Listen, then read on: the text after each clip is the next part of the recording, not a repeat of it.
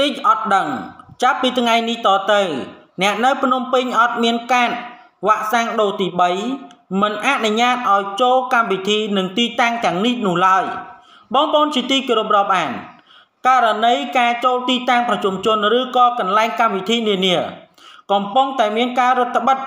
ដើម្បីការពារកុំឲ្យមានការឆ្លងរីករាលដាលនៃជំងឺ Covid ដូច្នោះបងប្អូនកូនក្មួយអំពូមៀមិញលោកតាលោកយាយ ឯកឧត្តមលោកអុកញ៉ែលោកជំទាវបើសិនជាមិនមានការចាក់វ៉ាក់សាំងដូសទី3ទេ នៅក្នុងកន្លែងទីតាំងទាំងអស់នេះគឺមិនអនុញ្ញាតឲ្យចូលនោះទេនេះបើសិនជាអាជ្ញាធររកឃើញ ថាមិនបានចាក់វ៉ាក់សាំងដូសទី3និងដូសជំរុញដើម្បីការពារកុំឲ្យមានការឆ្លងរីករាលដាលនៃជំងឺ Covid នៅក្នុងថ្ងៃទី10ខែកុម្ភៈឆ្នាំ2022នេះ រដ្ឋបាលរាជធានីភ្នំពេញបានចេញនូវសេចក្តីណែនាំ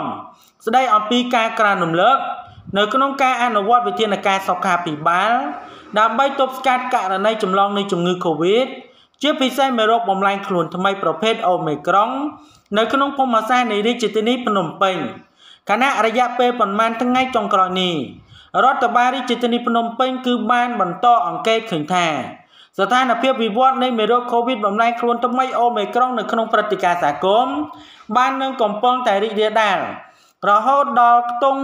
3ខ្ទង់នៅក្នុងមួយថ្ងៃដែលប្រការនេះគួរឲ្យមានការព្រួយបារម្ភយ៉ាងខ្លាំង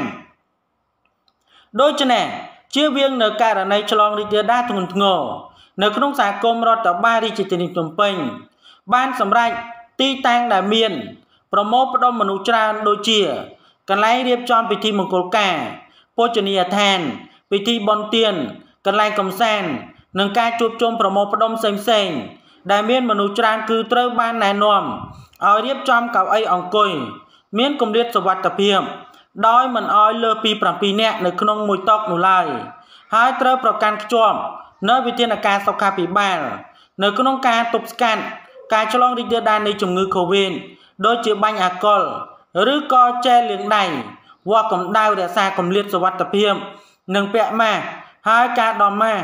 ចេញនៅក្នុងអំឡុងពេលទទួលទានអាហារគឺត្រូវទុកដាក់ឲ្យបានត្រឹមត្រូវនិងត្រូវពាក់ម៉ាស់ឡើងវិញ នៅពេលដែលងើបចេញពីតុទន្ទឹមនឹងគ្នានេះផងដែររដ្ឋបាលរាជធានីភ្នំពេញតម្រូវឲ្យម្ចាស់កម្មវិធី ខាងលើគឺត្រូវតែពិនិត្យបានចាប់អាសាំងនិងបើបុគ្គលិកណាមួយ គឺមិនបានចាប់អាសាំងឬហួសរយៈពេល4ខែហើយ គឺមិនបានចាប់អាសាំងដូសទី3ឬក៏ដូសជំរុញដោយមូលហេតុត្រឹមត្រូវបុគ្គលរូបនេះគឺមិនអនុញ្ញាតឲ្យចូលទីតាំងឬកន្លែងប្រពៃពិធីណាឡើយក្រៅតែពីនេះរដ្ឋបាលរាជធានីភ្នំពេញ បានប្រាប់ឲ្យអាជ្ញាធរមូលដ្ឋាន ធ្វើការពិនិត្យនិងជំរុញពលរដ្ឋទាំងអស់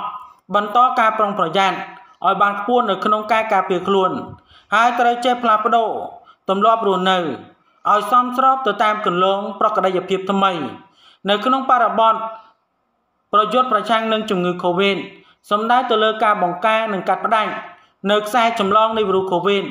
ជាពិសេសប្រភេទអូមេក្រុងតែម្ដងដូច្នោះព័ត៌មាននេះមានប៉ុណ្ណឹង